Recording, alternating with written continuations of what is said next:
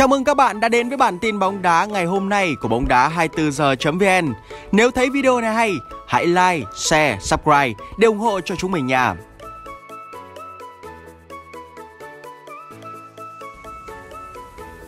Vua ngược dòng MU thua ngược ở derby nước Anh.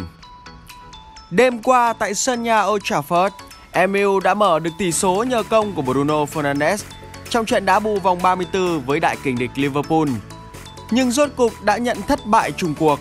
Phần nhiều do các sai sót trong khâu phòng ngự. Các bàn thắng của đội khách được ghi do công của Jota, Firmino và Salah. Bàn còn lại của MU thuộc về Rashford. Một số kết quả khác, Real Madrid đã dễ dàng đánh bại Granada với tỷ số 4-1 trong chuyến hành quân đến sân của đối thủ. Trong khi đó, Erling Haaland cùng Jadon Sancho mỗi người đã lập một cú đúp để giúp Dortmund vui dập RB Leipzig để vô địch cúp quốc gia Đức.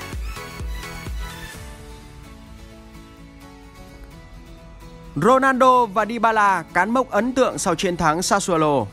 Với bàn thắng có được trước Sassuolo, siêu sao Cristiano Ronaldo đã cán mốc 100 bàn thắng trong màu áo Juventus trên mọi đấu trường. Trong đó có 80 bàn tại Serie A, 14 bàn ở Champions League, 2 bàn ở siêu cúp Italia và 4 bàn ở cúp quốc gia Italia. Ngoài Ronaldo thì Paulo Dybala cũng cán mốc 100 bàn cho Juventus. Cầu thủ người Argentina tới Juventus vào năm 2015. Trong số 100 bàn thắng mà anh có được ở đội bóng thành Turin thì có 72 bàn ghi ở Serie A. UEFA chốt địa điểm tổ chức trận chung kết Champions League. Trước những lo ngại an ninh xuất phát từ dịch bệnh Covid-19 gây ra, Liên đoàn bóng đá UEFA đã quyết định hủy bỏ kế hoạch tổ chức trận chung kết UEFA Champions League mùa giải 2020-2021 tại sân Atatürk Olympic Istanbul Thổ Nhĩ Kỳ theo kế hoạch ban đầu. UEFA đã nhất trí chuyển địa điểm trận đấu trên về sân Estadio do Dragão, sân nhà của câu lạc bộ Porto Bồ Đào Nha. Phía UEFA mới đây cũng xác nhận thông tin này trên website chính thức của mình. Hang rồng Dragao có sức chứa 50 đến 52 000 chỗ ngồi. Đây là nơi tổ chức nhiều trận đấu quan trọng của đội tuyển quốc gia Bồ Đào Nha Nổi bật là trận chung kết UEFA Nations League 2019, trận đấu mà Cristiano Ronaldo cùng các đồng đội đánh bại Hà Lan để trở thành nhà vô địch đầu tiên của giải đấu này. Jorginho lên tiếng giải thích sau phạt tự hủy.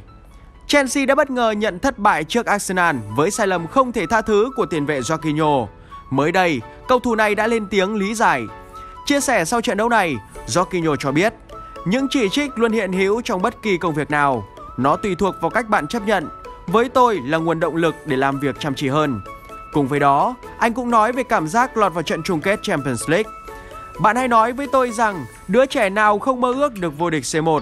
Sau khi vượt qua Real Madrid, tôi nhận ra sự khó khăn mà chúng tôi đã trải qua.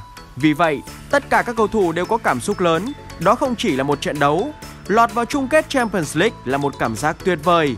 Có lẽ vài người sẽ nói đó chưa phải là chiến tích gì, nhưng chúng tôi chỉ còn vài bước nữa là đạt tới ước mơ. MU dẫn đầu nước Anh về thời lượng ra sân của các cầu thủ gà nhà. Trang CS vừa công bố một bảng danh sách về tỷ lệ phần trăm số phút thi đấu của các cầu thủ home ground. Những cầu thủ của câu lạc bộ đào tạo ít nhất 3 năm trong độ tuổi từ 15 đến 21. Tính trên tổng số các cầu thủ thuộc biên chế đội 1 ở các đội bóng lớn trong mùa giải vừa qua, tức là lấy tổng số phút ra sân của các cầu thủ gà nhà chia cho tổng số phút thi đấu của toàn bộ các cầu thủ.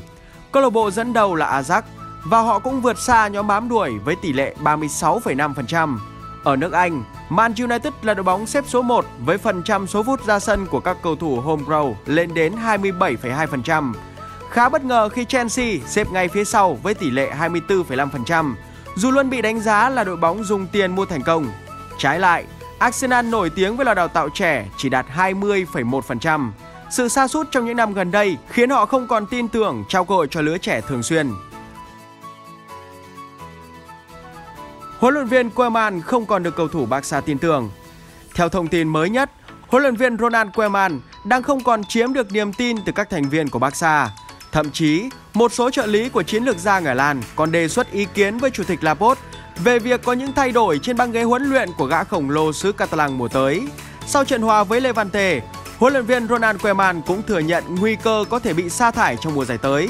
Ông chia sẻ, tôi hiểu rằng sẽ xuất hiện những câu hỏi về tương lai của tôi sau những kết quả như thế này. Nhưng với tư cách là một huấn luyện viên, tôi phải chuẩn bị cho mọi chuyện. Tất nhiên, chúng tôi thất vọng với mọi chuyện đã xảy ra, nhưng chúng tôi cần vượt qua và thể hiện những gì tốt nhất trong những trận đấu còn lại.